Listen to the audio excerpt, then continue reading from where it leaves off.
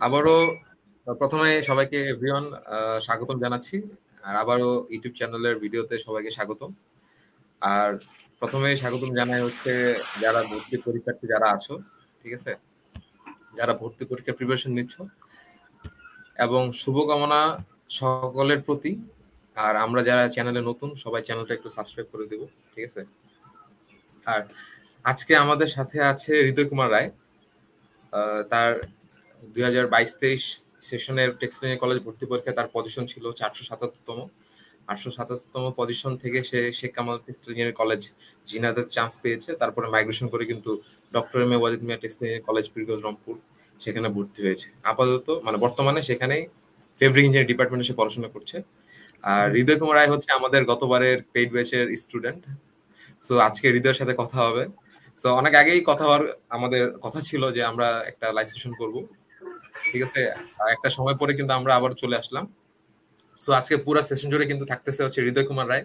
So সে share করবে তার অ্যাডমিশন জার্নি এবং টেক এক্সপেন্ট তাকে কীভাবে সাহায্য করেছে তারপরে সে নিজে কীভাবে পটেনশিয়াল ভাবে এগিয়েছে তার কি পটেনশিয়ালিটি ছিল এবং কোন কোন জায়গাগুলোতে ভালো দক্ষতা ছিল এবং কীভাবে সে মানে চান্স পেল সেই জার্নিটা আরেকটা কথা বলে রাখি হৃদয় কুমার রায় হচ্ছে কিন্তু আবার সেকেন্ড টাইমার তার মানে কি একটা দীর্ঘ সময়ের পরে একটা কঠোর জার্নির পরে এবং একটা ভালো প্রিপারেশন এবং একটা পরিশ্রমের সাথে নিষ্ঠার সাথে সে কিন্তু নিজের একটা পাবলিক সিট এনশিওর করেছে। সো হৃদয়ের সাথে আছে কথা বলব। প্রথমে হৃদয় হৃদয় কুমার রায় তোমাকে স্বাগত ধন্যবাদ দাদা। জি দাদা ভালো আছি। শুরুতেই আমি টেক এক্সপিরিয়েন্সকে অসংখ্য ধন্যবাদ দিতে চাই। আজকের এই লাইভে আমাকে আমন্ত্রণ জানানোর জন্য। তো দাদা এডমিশন জার্নির কথা যদি বলি, তো এটা বর্তমান যারা স্টুডেন্ট আছে, এরা জানে যে বর্তমান সময়টা কতটা মানে মানসিক প্রেশারের মধ্যে দিয়ে যায়। বিশেষ করে আমি সেকেন্ড টাইমে ছিলাম সো আমার প্রেশারটা একটু বেশি ছিল বলা যায়। তো আমি হচ্ছে টেক্সটাইলের জন্য মেবি হচ্ছে তিন মাসের মতো পড়েছিলাম শুধু টেক্সটাইলটার জন্য। আমার টার্গেটটা ছিল মূলত ইঞ্জিনিয়ারিং তো দেখা যায় যে অনেকের ইঞ্জিনিয়ারিং স্বপ্ন থাকে, কিন্তু বিভিন্ন কারণে হচ্ছে সিকির ওয়েট বলেন কিংবা বুটেক্স বুয়েট এগুলোতে পরীক্ষা দেওয়া হয় না। তো আমার সেরকম টার্গেটটা ছিল হচ্ছে ইঞ্জিনিয়ারিং তো এই কারণে মূলত আমার এইদিকে ফোকাস ছিল। আর হ্যাঁ আমি গুচ্ছে পরীক্ষা দিয়েছিলাম। সেখানে একটি মার্ক আসছিল হয়তো বা অ্যাপ্লাই করে আসলেও আসতে পারতো। কিন্তু এখানে হওয়ার কারণে আমি মূলত পরবর্তীতে অ্যাপ্লাই করিনি।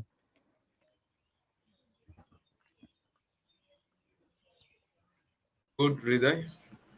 সো এখন তো আসলে তোমার কোনো টেনশন নাই কারণ তুমি একজন পাবলিকিয়ান একটা পাবলিক সিটে এখন পড়াশোনা করছ আর সব থেকে যেটা বেশি হলো মানে সব থেকে যেটা গুরুত্বপূর্ণ বিষয় মানে তুমি পড়াশোনা করতেছো হচ্ছে ইঞ্জিনিয়ারিং অ্যাকচুয়ালি দিন শেষে মানে নিজের গায়ে ইঞ্জিনিয়ার একটা ট্যাগ পরিচয়টা কিন্তু অনেক বড়। তোমার সাবজেক্ট আমরা জানি যে হচ্ছে ফেব্রিক ইঞ্জিনিয়ারিং ডিপার্টমেন্ট সো এখন মানে সেকেন্ড টাইমের জার্নি থেকে একদম চান্স পাওয়া। এই চান্স পায় যখন যে পড়াশোনা করতেছে এই বিষয়টা কেমন লাগতেছে তোমার কাছে?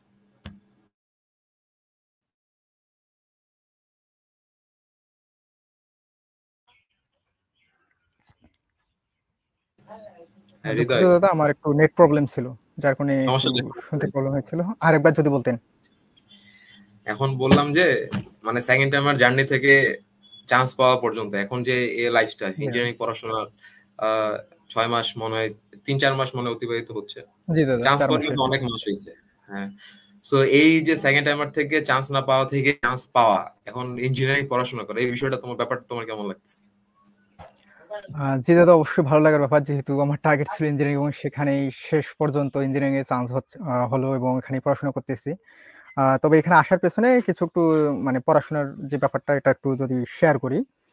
তো সেটি হচ্ছে শুরুতে যে তিন মাসের কথা বললাম, এর মাঝখানে আমি হচ্ছে টেক্সটাইলের জন্য মানে টেক্সটাইল কলেজের জন্য আমি হচ্ছে একটা ইঞ্জিনিয়ারিং ব্যাচে ভর্তি ছিলাম টেক এক্সপিরিয়েন্সের মানে বর্তমান যে প্ল্যাটফর্মটির লাইভ চলছে, এখানেই ভর্তি ছিলাম। অনেকে আবার মানে এটা যে, যেটা বলে যে, হচ্ছে টেক্সটাইল ইঞ্জিনিয়ারিং কলেজের জন্য হচ্ছে আলাদা করে কোচিং করার দরকার নেই কিংবা এক্সাম ব্যাচে ভর্তি হওয়ার দরকার নেই। তবে তাদের ক্ষেত্রে আমি ছোট্ট একটু বলতে চাই গাইডলাইন জিনিসটা অন্যরকম। দেখা যাচ্ছে যে, আপনি সুন্দরবনে বেড়াতে গেলেন, কিন্তু আপনি গুগলে দেখে দেখে যাচ্ছেন যে ডেঞ্জারাস জোন কোনটা? এটা ভালো হবে নাকি একজন গাইডকে সঙ্গে নিয়ে যাওয়া ভালো হবে? আমার মনে হয় অবশ্যই ভালো হয় একজন গাইডকে সঙ্গে নিয়ে যাওয়া। তো সেভাবে আমি অতটুকু ভেবে হচ্ছে এটি এক্সপিরিয়েন্সের সঙ্গে যুক্ত ছিলাম এবং টেক এক্সপিরিয়েন্স আমাকে যথেষ্ট সময় দিয়েছে এবং আমার পড়াশোনাগুলো গুছিয়ে নেওয়ার জন্য অনেক হেল্প করেছে। তো আমি হচ্ছে এটুকু বলতে চাই যে যারা হচ্ছে প্রিপারেশন নিচ্ছে বিশেষ করে টেক টেক্সটাইল ইঞ্জিনিয়ারিং কলেজের জন্য কিংবা যাদের স্বপ্ন ইঞ্জিনিয়ারিং তাদেরকে বলব যে তোমাদের সময় আছে, তোমরা প্রিপারেশনটা ভালো করে নাও। আর হ্যাঁ গুচ্ছের জন্য যেটা পড়তেছে এটা সেম পড়া কিন্তু এর জন্য আমার মনে হয় একজন হচ্ছে তোমাদের গাইড থাকা অতীব জরুরি। এর জন্য তোমরা হচ্ছে যে কোনো যে এক্সাম ব্যাচগুলো আছে, অনেক বেশ কয়েকটা প্ল্যাটফর্ম তো ভর্তি হতে পারো। আর আমি, আমাকে যদি জিজ্ঞেস করো, তাহলে আমি সাজেস্ট করব টেক এক্সপিরিয়েন্স যেহেতু আমি এখানে ভর্তি ছিলাম। তো বাকিটা হচ্ছে তোমাদের নিজস্ব ব্যক্তিগত ব্যাপার। এই ছিল সো আমরা স্টুডেন্টরা আসলে আমাদের ভর্তি হবে কিনা, তারা আমাদের যে চান্স পেয়েছে সেগুলো এবং আমাদের ক্লাসগুলো আমাদের মেন্টরশিপ রেগুলার বেসিসে যদি দেখে থাকে, তো আমরা আশা করব তার ভিতরে একটা আবেগ কাজ করবে যে এখানে ভর্তি হওয়া যায় কিনা। ঠিক আছে? জি দাদা।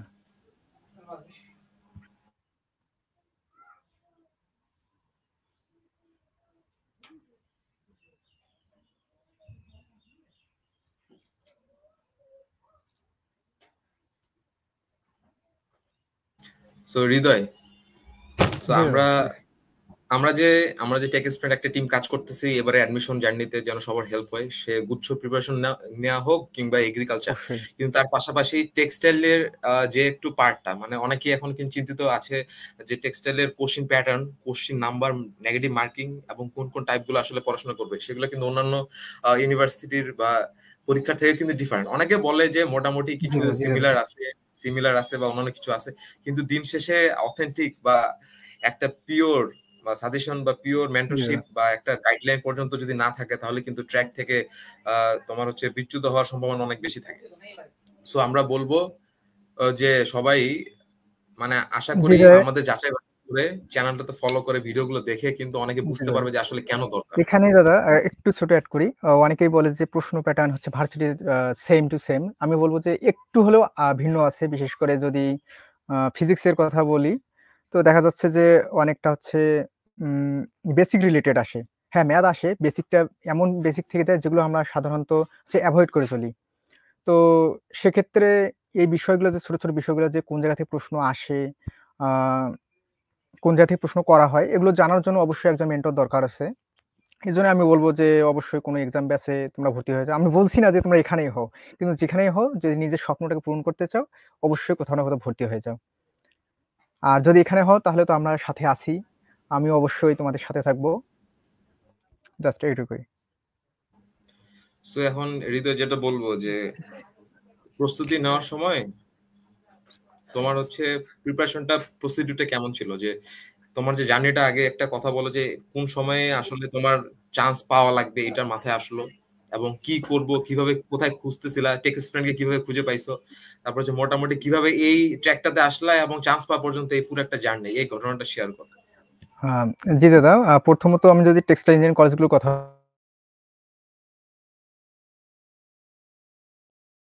ফ্রেন্ডের মাধ্যমে তো এরপর যখন জানলাম যে টেক্সটাইল টেক্সটাইল ইঞ্জিনিয়ারিং, তো এই জায়গায় আমার আগ্রহটা অনেক বেশি ছিল যে যেহেতু আমার যেটা বলেছিলাম যে আমার ইচ্ছা ছিল ইঞ্জিনিয়ারিং এ পড়াশোনা করার তো আমার তো ভার্সিটি প্রিপারেশন ছিল কিন্তু নিজের মধ্যে তো একটু কনফিডেন্স ছিল যে যদিও আমার হয় কিংবা হচ্ছে ভালো কোনো ইঞ্জিনিয়ারিং সাবজেক্ট পাবো না। তো সেই জায়গা থেকে আমি ইঞ্জিনিয়ারিং কলেজগুলোর জন্য আলাদাভাবে একটু প্রিপারেশন এর জন্য আমি একটা কোশ্চেন ব্যাংক কিনছিলাম। আর হ্যাঁ এইটুকু বলতে ভুলে গেছি সবার উদ্দেশ্যে যে কোশ্চেন ব্যাংক সলভের বিকল্প কিন্তু নাই। তোমরা যেভাবেই পড়ো, যে প্ল্যাটফর্মে যুক্ত থাকো, সাথে একটা কোশ্চেন ব্যাংক কিনে রাখো। এটা তোমাকে অনেক অনেক বেশি হেল্প করবে। কারণ প্রতি বছর দেখা যাচ্ছে যে কোশ্চেন ব্যাংক থেকে হিউজ পরিমাণ প্রশ্ন হুবাহু কমন আসলে টাইপগুলো অন্তত কমন পাওয়া যায়। আর আমি হচ্ছে এরপর যেভাবে পড়াশোনা করেছিলাম লাস্ট তিন মাস তিন মাস না হলেও লাস্ট দুই মাস খুব হবে। যেটা আমি শুধু টেক্সটাইলের কোশ্চেন ব্যাংক অনুযায়ী পড়াশোনাগুলো করেছিলাম। বিশেষ করে বেসিক এবং হচ্ছে যে টাইপের ম্যাথগুলো আসে, এগুলো করেছিলাম। আর সাথে তো আমি টেক এক্সপিরিয়েন্সে ভর্তি ছিলাম। তো সেখান, সেখানে যেভাবে আমাদের নির্দেশনা দেওয়া হয়েছিল, সেভাবেই মূলত পড়েছিলাম। গুড সো মোটামুটি ওভারঅল যেটা দেখা গেছে যে তোমার কাছে কোশ্চেন ব্যাংক ছিল কোশ্চেন ব্যাংক সলভ করছ এর পাশাপাশি আমাদের যে পেড এক্সাম ব্যাচ ছিল এক্সাম এক্সামগুলো দিয়েছ হ্যাঁ। তারপরে হচ্ছে আমাদের যে মেন্টরশিপগুলো হইতো মানে আমি যেটা মানে নিতাম আর কি মানে লাইভ সেশন গুলোতে গুগল মিটে তারপরে হচ্ছে তোমার হচ্ছে জুমে বলো না কেন মানে তোমার টেলিগ্রাম হোয়াটসঅ্যাপ গ্রুপে বলো না কেন মানে ওয়ান টু ওয়ান যে আমরা মানে কথা বলতেছিলাম তোমার একটা অ্যাডমিশন জার্নিতে যেন ট্র্যাক থেকে আলাদা না হয়ে যাও কখন কি করা লাগবে মানে ইনস্ট্যান্ট সলিউশন তারপরে আমাদের পেড এক্সাম বেচে যে বিশেষত্ব সেটা হচ্ছে আমাদের যেমন এক্সাম গ্রুপ থাকে আমাদের এক্সামের টাস্ক একটা গ্রুপ থাকে তারপর হচ্ছে প্রবলেম সলভিং এর আলাদা একটা গ্রুপ থাকে ডাউট সলিউশনের গ্রুপ থাকে মেন্টরশিপের আলাদা গ্রুপ থাকে এক্সাম লিঙ্ক মানে এক্সাম কোথায় দিবা সেটারও কিন্তু একটা গ্রুপ থাকে ঠিক আছে? মানে মোটামুটি তুমি এখানে যুক্ত হইলে মানে তোমার আসলে এই ফিল কখনো হবে না যে তুমি আমাদের থেকে দূরে আছো ওকে আর মনে করো যে নিজে পড়াশোনা করতেছি টেবিলে পড়াশোনা করতে পারতেছি ভাইয়ারা তো অনেক দূরে সো ভাইয়ারা শুধুমাত্র এক্সামের সময় এক্সাম দিব কথাবার্তার সময় কথাবার্তা কি মানে ভাইদের সাথে কন্ট্যাক্ট থাকতেছে না এমনটা কিন্তু না। আমরা সর্বোচ্চ চেষ্টা করি এবং করব যেন অ্যাডমিশন জার্নিতে আমাদের কাছে ইনক্লুড হইলে ফ্রি হোক তুমি পেড হও আমরা চেষ্টা করতেছি এখন যেহেতু এবছর আমাদের ইউটিউবটা চালু হয়েছে ঠিক আছে? সো আমাদের কিন্তু তুমি ইউটিউবে আমাদের পাইতে পারো। সো আবার আমাদেরকে যদি তুমি ডিরেক্টলি ভাইয়ের সাথে কথা বলতে চাও বা আমাদের কোনো মেন্টরের সাথে কথা বলতে চাও সো আমাদের টেলিগ্রাম গ্রুপ আছে সেখানে জানাতে পারো। ফেসবুক পেজে জানাতে পারো। ফেসবুক গ্রুপে জানাতে পারো। ওভারঅল সব জায়গাতেই টেক স্প্রেন্ড সার্চ দিলেই কিন্তু তোমরা মানে আমাদের পেয়ে যাবে আসলে ঠিক আছে? এবার হৃদয় হৃদয়ের কাছ থেকে শুনব যে তোমার ফিজিক্স কেমিস্ট্রি ম্যাথ ইন্ডিভিজুয়ালের প্রিপারেশনগুলো কেমন ছিল এবং পরীক্ষায় কীভাবে দিলা এবং পরীক্ষায় কোনটা আসলে কমন পাইছো কীভাবে কত পার্সেন্ট আনসার করছ? এই ওভারঅল বিষয়গুলো বলো। জি দাদা, যেটা বলছিলাম যে হচ্ছে আমি প্রথম কোয়েশ্চেন ব্যাগটা হাতে নেই। এখানে যেটা দেখেছিলাম যে অধিকাংশগুলো হচ্ছে বেসিক নির্ভর আসে, যেগুলো আমরা সাধারণত অ্যাভয়েড করে চলি। যেটা ভাবি যে হচ্ছে ম্যাথ বেশি দিবে বেশি দিবে বেশি দিবে, এভাবে আর কি আমরা অধিকাংশ বেসিকগুলো বাদ দিয়ে দিই। তো কোয়েশ্চেন ব্যাগে যেটা দেখছিলাম যে বেসিক রিলেটেড যে ম্যাথগুলো আসে, ওগুলো অন্তত বেসিক রিলেটেড যেগুলো আমরা সাধারণত অ্যাভয়েড করে চলি। তো ওগুলো দেখা যায় দেখা যায় এবং ওগুলো আসে যা দেওয়ার পরও এরা এদের চান্স হয় না। কারণ এরা কঠিন, অতিরিক্ত কঠিন ভেবে সহজগুলোকে বাদ দিয়ে দেয়। তো আমি হচ্ছে কোশ্চেন ব্যাংক রিলেটেড মানে কোশ্চেন ব্যাংক অনুযায়ী পড়েছিলাম। আর যেটা বললাম যে টেক এক্সপিরিয়েন্স থেকে তো গাইড পেয়েছিলাম। তো সেখানে যেভাবে বলেছিল সেভাবেই পড়ছিলাম। আর হচ্ছে, দাদা প্রশ্নটা আরেকবার যদি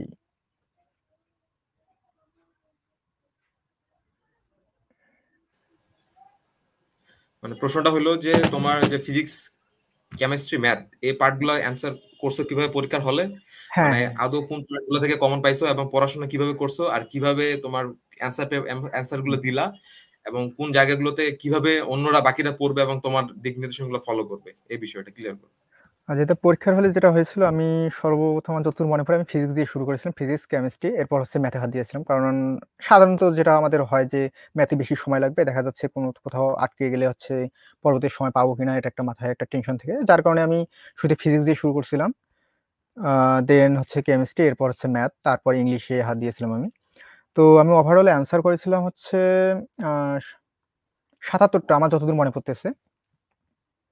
এবং মানে কনফিডেন্স সহিত যেগুলো হচ্ছে আমার ইয়া ছিল কেগুলো কনফিউশন সেগুলো আমি একদমই হাত দেইনি। তো সাতাত্তর এর মানে এর মধ্যেই আমি, আমার রেজাল্টটা আসে। আর আমার এই জায়গায় একটু সাজেশন থাকবে যে, যদি তোমাদের কনফিডেন্স থাকে যে সত্তরটা প্লাস হচ্ছে তোমাদের তোমার যে সত্তর প্লাস তোমাদের হবে তাহলে বেশি দাগানোর দরকার নেই, কারণ তোমার একটা সিটি দরকার।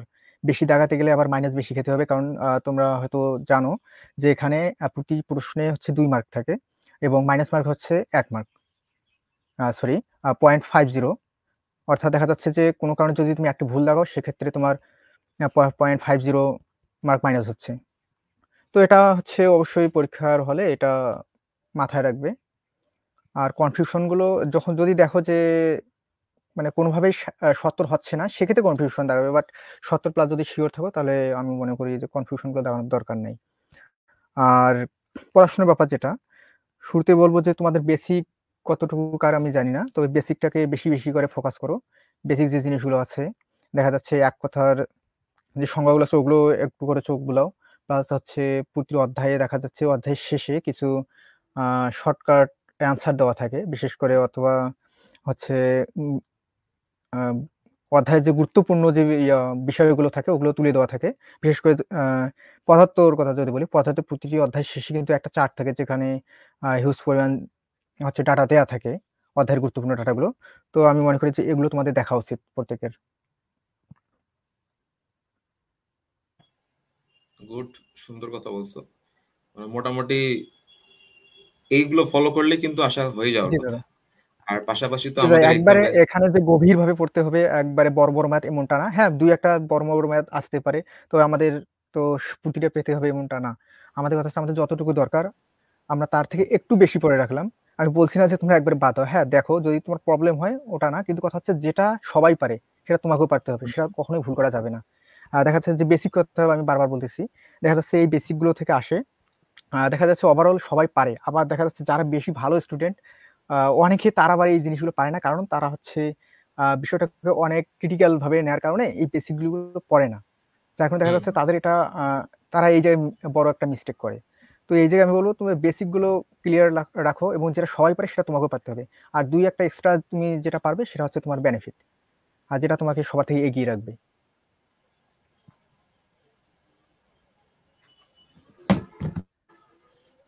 সো মোটামুটি অনেক কথাই তো বললাম এখন হচ্ছে যারা এবার মনে করে যে ফার্স্ট টাইমার এবং সেকেন্ড টাইমার অনেকে মনে করে যে অনেকগুলো তো পরীক্ষা হয়ে গেছে। ঢাকা ইউনিভার্সিটি অনেকে চান্স হয় নাই। সামনে আছে তোমার গুচ্ছ টেক্সটাইল ইঞ্জিনিয়ারিং কলেজ ভর্তি পরীক্ষা এবং কৃষি গুচ্ছ ভর্তি পরীক্ষা। সো এই জায়গাতে মানে যখন তারা তিন তিনটা ওয়েতে প্রিপারেশন নিবে সেটা করা উচিত নাকি পড়াশোনাটা কোন ট্র্যাকে গেলে মানে মোটামুটি একটা ভালো রেজাল্ট করতে পারে? এই বিষয় সম্পর্কে তুমি কি বলব? দাদা সর্বপ্রথম আমি বলতে চাই যে, প্রত্যেকে কিন্তু নিজের ক্যাপাবিলিটিটা জানে যে কে কতটুকু সামনে এগোতে পারবে কিংবা কার প্রস্তুতিটা কি রকম তো যদি কারও ফুল কনসেন্ট্রেশন থাকে হচ্ছে কৃষিতে, তাহলে কৃষি অনুযায়ী পড়ো এবং অনেকটা এটার পড়াশুনো হয়ে যাবে টেক্সটাইল ইঞ্জিনিয়ারিংয়ের আর যদি মনে করো যে একটু তোমার সমস্যা বোধ হচ্ছে যে কৃষিতে হবে কি হবে না, তাহলে আমি মনে করি তুমি টেক্সটাইল ইঞ্জিনিয়ারিং কলেজের প্রশ্ন ব্যাংকে ফোকাস করো এবং এটার প্রিপারেশনটা নিয়ে নাও। কারণ আমার বিশ্বাস এখানে যদি কেউ এই তিন মাস সময় নিয়ে পড়ে তার হয়ে যাবে।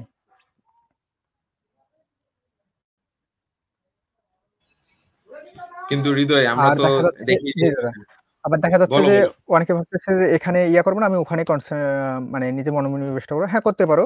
কিন্তু মাঝে মধ্যে এই জায়গার প্রশ্ন ব্যাংকগুলো একটু চোখ বুলাও এবং যদি যেটা বললাম একটু আগে, যে যে কোনো যদি কোনো এক্সাম ব্যাচ পাও, তো সেখানে একটু ভর্তি হয়ে সেখানে পরীক্ষাগুলো দিয়ে সেখানকার কোশ্চেন প্যাটার্নটা সম্পর্কে ধারণাটা রেখে দিতে পারো।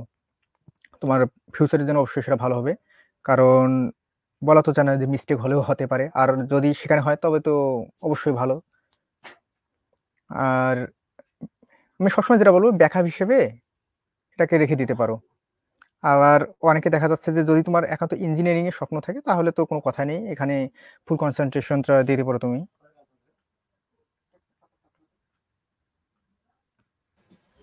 হৃদয়। হৃদয় শুনতে পাচ্ছ? জি দাদা। সো ঘটনা হচ্ছে কি আমাদের অ্যাপ্লিকেশনের ডেট কিন্তু একবার শেষ হয়ে গিয়েছিল ঠিক আছে? সো আবার এটাকে মানে বৃদ্ধি করে তোমার তিরিশ এপ্রিল পর্যন্ত করা হয়েছে। তারপরে তোমার অ্যাডমিশন ডেট পিছানো হয়েছে তোমার হচ্ছে এগারো মে দুই হাজার চব্বিশ পর্যন্ত। সো মোটামুটি সবার কাছে কিন্তু যথেষ্ট সময় আছে। যারা এখনও চান্স পায় নাই মানে বিশেষ করে যারা সেকেন্ড টাইমার তাদের জন্য একদম চূড়ান্ত সময়। মানে একদম লাস্ট মোমেন্টে আর মাত্র পরীক্ষা আছে তিনটা। সেটা হচ্ছে তোমার জিএসটি তারপর হচ্ছে ইঞ্জিনিয়ারিং গুচ্ছ আর একটা হচ্ছে তোমার টেক্সটাইল ইঞ্জিনিয়ারিং গুচ্ছ আর একটা হচ্ছে তোমার কৃষি বিশ্ববিদ্যালয়। সো আমরা যদি একটু অ্যানালাইসিস করি আমরা দেখি যে গুচ্ছতে কিন্তু বিজ্ঞানের জন্য সব থেকে বেশি সিট আবার কৃষিতে দেখা গেল দেখা গেল যে আবেদন যতজন থাকে তার থেকেও কিন্তু আবার বেশি সিট মনে করো এটা তিন হাজার সাড়ে তিন হ্যাঁ, হাজার। হ্যাঁ। আর তোমার গুচ্ছের জন্য থাকে মনে করো যে আট হাজার দশ হাজার বারো হাজার পর্যন্ত কিন্তু সিট পাওয়া যায়। হ্যাঁ?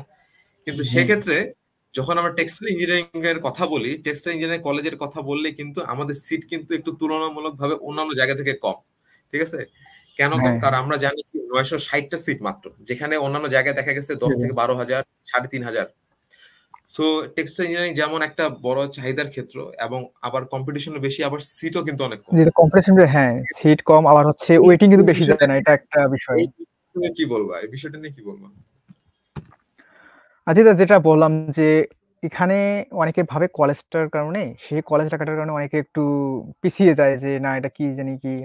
মানে এরকম একটা মনোভাব থাকে। কিন্তু আসলে ভেতরে পরিবেশ কিন্তু ফুল ভার্সিটির মতো এটা যারা আছে তারা ভালো বলতে পারে। কিন্তু যারা বাইরে আছে ক্যাম্পাসে তারা আসলে এটা মানে ফুল বিষয়টা না জানার কারণে একটু অনেকের সমস্যা হয় বুঝতে যে আসলে এখানে যাব কি যাব না। আর এখানে যেহেতু ইঞ্জিনিয়ারিং প্রতিষ্ঠান আর মূলত যেটা বললাম যে যাদের স্বপ্ন ইঞ্জিনিয়ারিং তারা কিন্তু বেশি ফোকাসটা এখানে রাখে। আমার অনেক ফ্রেন্ডের কথা যদি বলি, অনেকের হচ্ছে বিভিন্ন ভার্সিটিতে পিওর সাবজেক্টগুলো আসছিল। তারা কিন্তু সেটা ছেড়ে দিয়ে এখানে আসছে।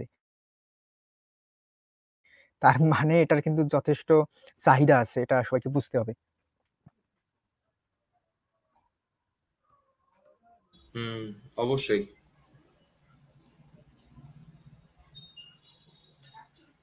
হৃদয়। সো মোটামুটি টেক্সটাইল ইঞ্জিনিয়ারিং যেমন হচ্ছে তোমার ওভারঅল প্রতি বছরে কিন্তু 12 থেকে 13,000 অ্যাপ্লিকেশন থাকে। কিন্তু সিট কিন্তু আবার হচ্ছে হুম। 960 টা।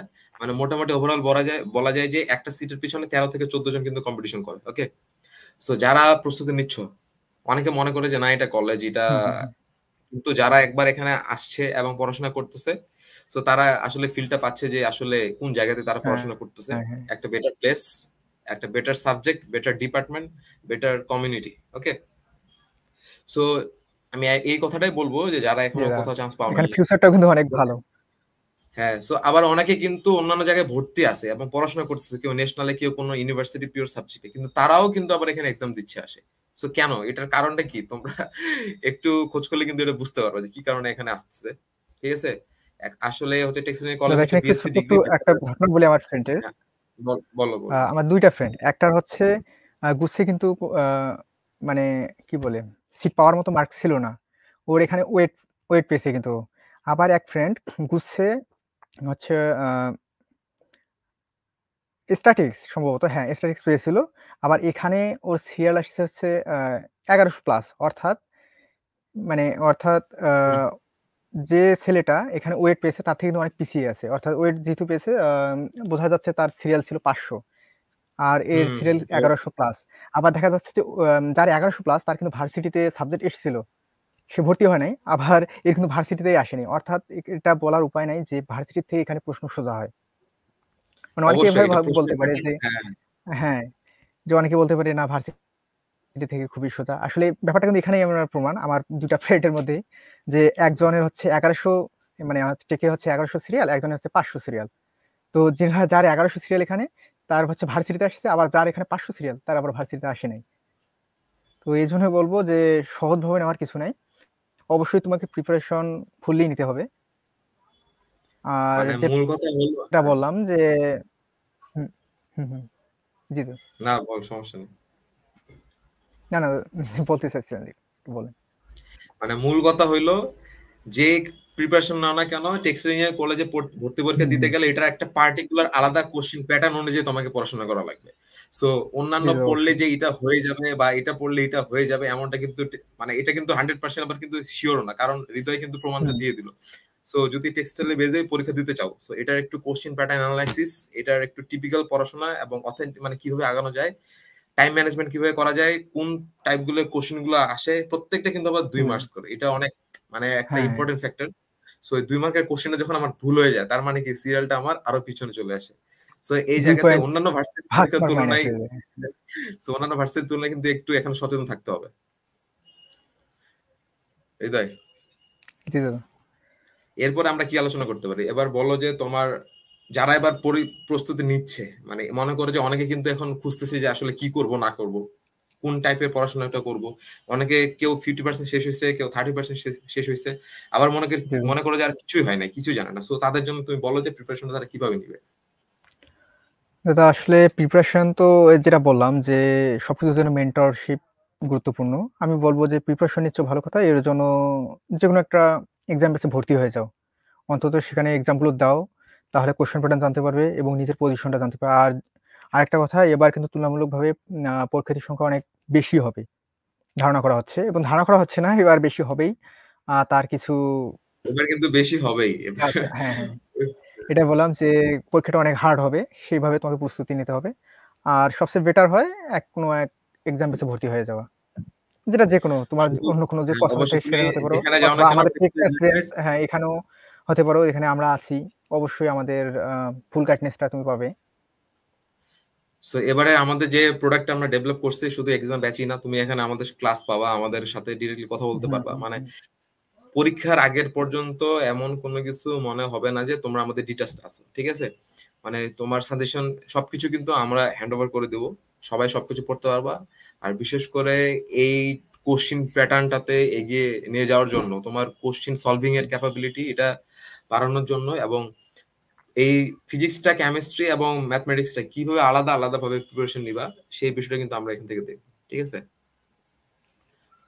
সো হৃদয় মোটামুটি আমরা তো অনেক আলোচনা করলাম। সো যারা পরবর্তীতে ভিডিওটা দেখবা তোমাদের জন্য কোনো প্রশ্ন থাকে তোমরা কিন্তু ভিডিওর কমেন্টে দিয়ে দিতে পারো। আর আমরা সবাইকে জানিয়ে দিতে চাই যে আমাদের আজকে থেকে কিন্তু তোমার পেইড ব্যাচের এক্সাম ব্যাচ শুরু রাত দশটা থেকে এক্সাম আর পরীক্ষার আগের দিন পর্যন্ত এক্সাম চলবে, আর আমাদের ফ্রি ক্লাসগুলো থাকবে সাজেশন ক্লাসগুলো থাকবে, আর যারা পেইড ব্যাচে ভর্তি হবে, তাদের জন্য কিন্তু আমাদের পেইড ব্যাচে পেইড গ্রুপে কিন্তু ক্লাস হবে ওকে আর সো আর যারা দেরি করিও না, এখন তোমরা কোর্সটা এনরোল করে ফেলো, ঠিক আছে? যারা অলরেডি অন্যান্য জায়গায় ভর্তি আসো তোমরা কিন্তু আবার গুচ্ছের ভর্তি পরীক্ষার পরপরই কিন্তু আবার খুঁজবা যে টেক্সটাইল ইঞ্জিনিয়ারিং কলেজের প্রিপারেশন কীভাবে নেব, প্রস্তুতি কীভাবে নেব সো সময় নষ্ট করো না, সবাই পরীক্ষার এই সময়টাকে কাজে লাগাও এবং সময় কিন্তু আর বেশি নাই। পরপর তিনটা পরীক্ষা হয়ে গেলে কিন্তু পরে আর কোনো চান্স থাকবে না। পরে কিন্তু আর পরীক্ষা দেওয়ার সুযোগ থাকবে না ঠিক হ্যাঁ, আছে? সেক্ষেত্রে দেখা যাচ্ছে ওদেরই সমস্যা হবে। কারণ দেখা যাচ্ছে যে একটা কোর্সে অর্ধেক পরীক্ষা চলে গেল এখানে অনেক টাইপ তুমি ইয়া পাবে না। কারণ প্রথমে তো হচ্ছে অধ্যায় ভিত্তিক হবে এরপর হচ্ছে তোমার ফুল মডেল টেস্ট অনুযায়ী এক্সামগুলো হবে। তো সেক্ষেত্রে আমি মনে করি যে শুরু থেকে যুক্ত হলে তোমার তোমার জন্য বিশেষ করে ভালো। অবশ্যই। সো কেউ সময় নষ্ট করিও না।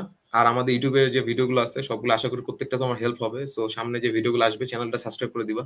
সবাই লাইক লাইক কমেন্ট ফলো করে দিবা। আর বন্ধুদের মাঝে কিন্তু শেয়ার করে দিবা। কারণ কি মানে অনেকেই কিন্তু খুঁজতেছে যে আসলে টেক্সটাইলে পড়াশোনা প্রিপারেশন আসলে কীভাবে নিব? একটা ভাইদের গাইডলাইন মেন্টর সো আমরা চেষ্টা করছি টেক্সটাইল কলেজে পুরো যত ভাইরা আছে এবং ভাইয়েরা আপুরা আছে তারা কীভাবে চান্স পাইলো তাদের স্ট্র্যাটেজি কি ছিল তারা কি ফলো করে কিন্তু চান্স পাইছে। অনেকে ইউনিভার্সিটি চান্স পাই নাই কিন্তু এখানে চান্স পাইছে। আবার অনেকে এখানে চান্স পাই নাই কিন্তু ইউনিভার্সিটিতে পড়তেছে কোন একটা পিওর সাবজেক্টে ঠিক আছে? এই যে ডিফিকাল্টিটা এই যে চেঞ্জেসটা এই যে কম্পারেবল তারা কেন চান্স পাচ্ছে পাচ্ছে না কি স্ট্র্যাটেজি ফলো করলে ভার্সিটি চান্স পাইছে কিন্তু এখানে চান্স পায় নাই। ঠিক আছে? আবার অনেকে ফার্স্ট টাইমে যখন এখানে পরীক্ষা দেয় এখানে চান্স পায় না। আবার সেকেন্ড টাইম দিয়ে তারপর চান্স পায়। তো হ্যাঁ, হ্যাঁ, হ্যাঁ। কেন এই চান্সের যে তারতম্য সেটা কেন হচ্ছে কোন ল্যাকিংস এর কারণে সেগুলো নিয়ে আমরা আলোচনা করব সেগুলো ফিল আপ করে দেওয়ার দায়িত্ব আমাদের। সো হৃদয় বলো তোমার যদি কিছু বলার থাকে। দাদা বলার তেমন কিছু নাই। সবার জন্য শুভকামনা অবশ্যই থাকবে। আর যেটা বললাম যে বেসিক ক্লিয়ার করো ছোট ছোট যে ম্যাথগুলো আছে ওগুলো দেখো। একদম কঠিন ম্যাথ এটার জন্য দেখতে হবে না। কারণ যেটা আসবে তোমার না দিলেও চলবে।